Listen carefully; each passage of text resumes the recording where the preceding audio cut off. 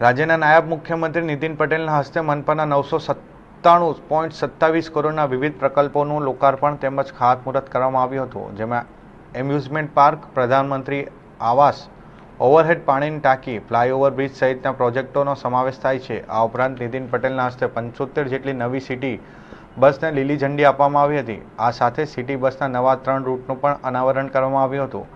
શહેરીજનોને આનંદ પ્રમોદનું સ્થળ મળી રહે તે માટે રાંદેર ઝોનના ઉગત વિસ્તારમાં આવેલા બોટોનિકલ ગાર્ડન ખાતે મનપા દ્વારા પીપીપી ધોરણે એમ્યુઝમેન્ટ પાર્ક બનાવવામાં આવ્યો છે જેમાં joy train helium balloon bungee jumping swimming coast dancing fly mini pendulum સહિતની અઢાર જેટલી લાઇટ્સ ઊભી કરવામાં આવી છે.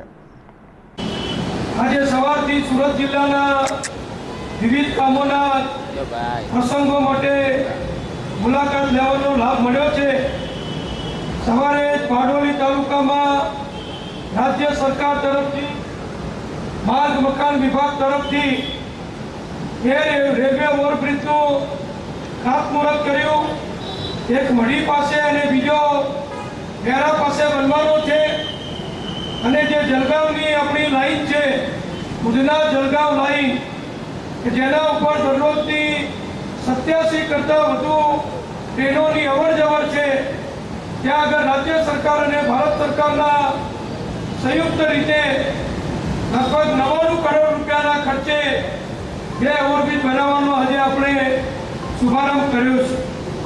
એવી જ રીતે બારડોલી તાલુકાના રસ્તાઓના કામો કોઝવેના કામ અને નદી ઉપરના નાના પુલના કામ પર પચીસેક કરોડ રૂપિયાના શુભારંભ કર્યો છે.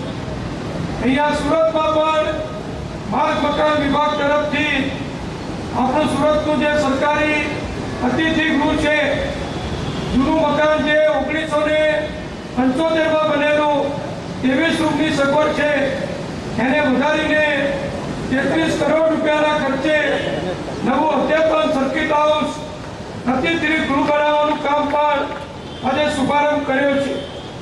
એવી જ રીતે કી પાસે અમારા ધારાસભ્ય ભાઈ શ્રી મુકેશભાઈનો કોલપાડ વિસ્તારનો જે આગ્રહ હતો અને જરૂરિયાત પણ હતી કે મોટા પ્રમાણમાં હજારો ટકો જ્યાંથી પસાર થાય અને જે રેલવે લાઇનની ફાટક છે, લગભગ અડધા દિવસ કરતાં પણ વધુ બંધ રહે.